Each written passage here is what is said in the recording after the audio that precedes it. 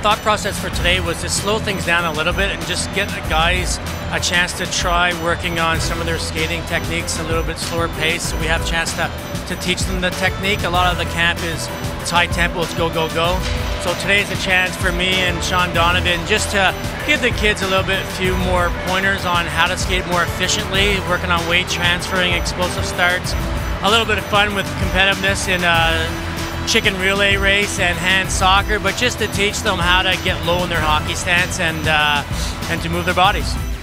He works on a lot of different things, um, quick starts, uh, lengthening your stride, and uh, you just have to kind of take the things that you need uh, because all of us skate a lot differently. So uh, he taught us a lot of different things, but just a few things that I really need to work on is like quick start, three quick strides, and then lengthening my stride as well.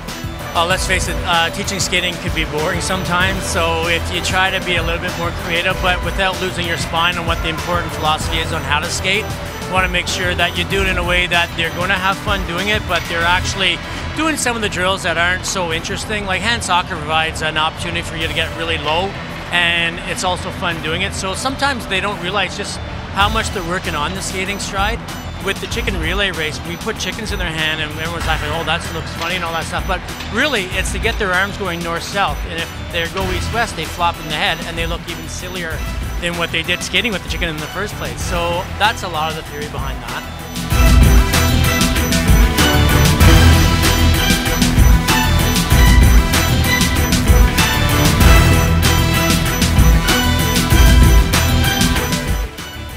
Take a lap with the, uh, what was the chicken's name? I'm not sure, but uh, we got to take a lap with the chicken and uh, didn't think the D were going to have so much speed, and uh, I was just happy that we could get the win.